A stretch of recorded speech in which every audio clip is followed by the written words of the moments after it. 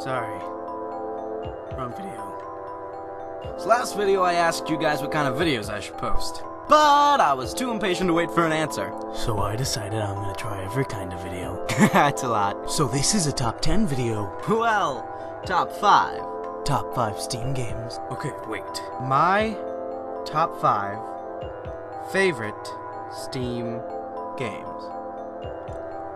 But keep in mind, I only have 17 games on Steam, so...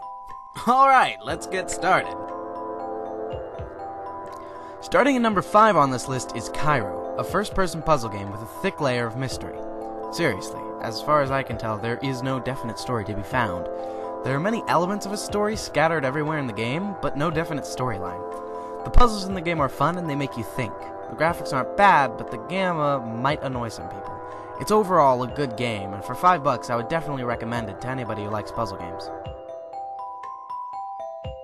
Now, this game was really big and it lagged the software I was using to record it with, but Anarchy Arcade is amazing. It's basically a virtual arcade. Actually, it's literally a virtual arcade. It's an arcade comprised of just your games and all your games. You decorate your arcade in any way you want. You can put posters up on your walls, and your games can all be launched within Anarchy Arcade. Okay, so I guess this isn't technically a game, but this is my YouTube channel. Anarchy Arcade rocks, and it's free, which rocks even more. I would recommend this to anyone. You have to win the game. Dang it, I just lost.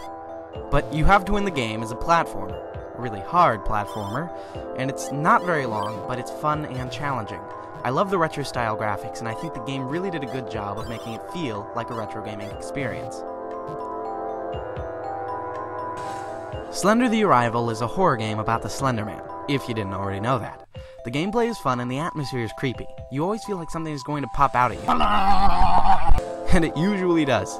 The graphics rock, and I like the fact that there was more to scary than just the Slender Man.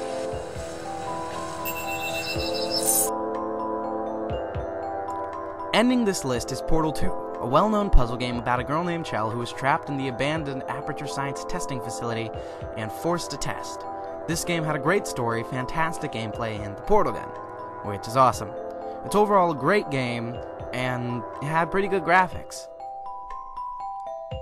So there you have it, my top 5 favorite Steam games. I'm DMZ Geek, and this is me bidding you... Adieu.